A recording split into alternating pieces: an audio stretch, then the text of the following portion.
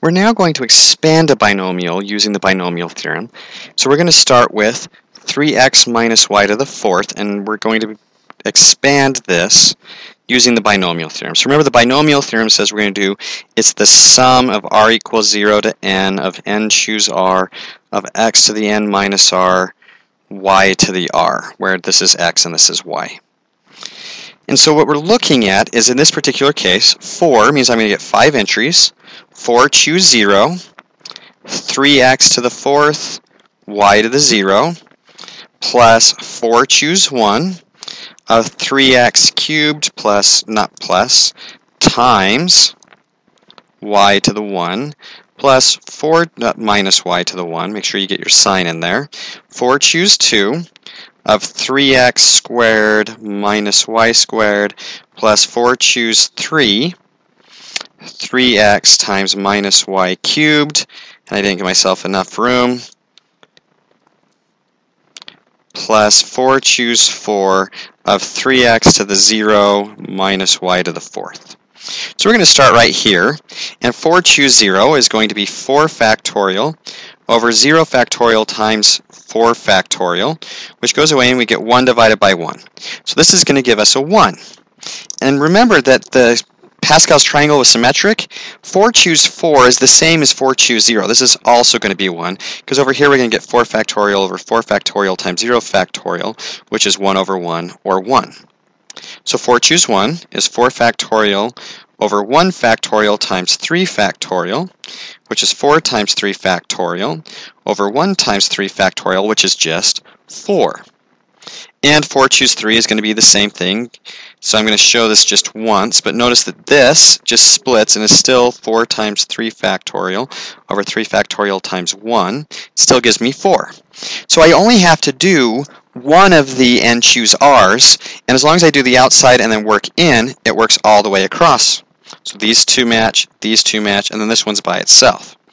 So 4 choose 2 is 4 factorial over 2 factorial times 2 factorial, which is 4 times 3 times 2 factorial, over 2 factorial times 2, which is 6. And notice this matches Pascal's triangle, 1, 4, 6, 4, 1, which is what we had.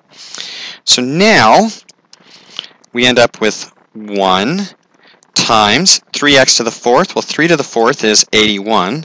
So this gives us 81x to the fourth. And minus y to the 0 is just 1 plus 4 times 27x cubed times a minus y plus 6 times 9x squared times y squared. Remember the square sees the y.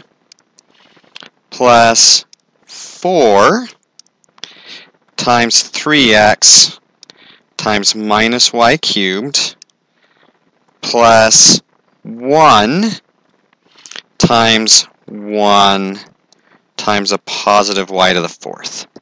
Well, now we're ready to get our answer.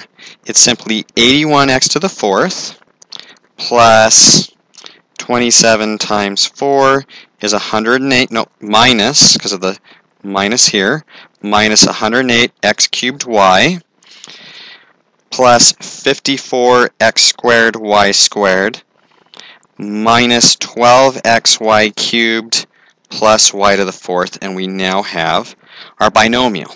So we write out what we need, the chooses. We put the first term to the first power and 0, and it decreases by 1 and increases by 1, and we get our answers. We're just going to show one more quick example. x minus 2 cubed is going to be a 4 term.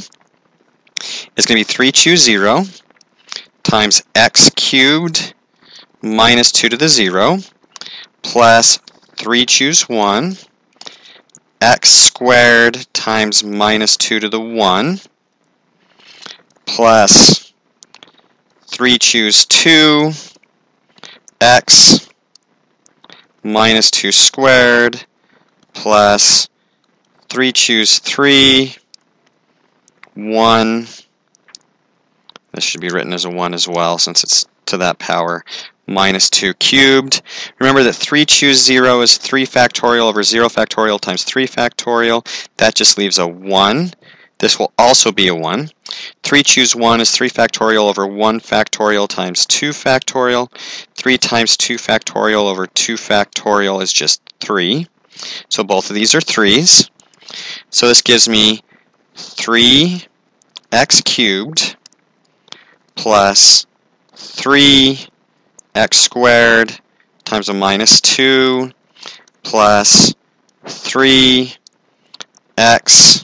times 4 plus, well, that shouldn't be a 3, that should be a 1. 1x cubed plus 3x squared times minus 2 plus 3x times 4 plus 1.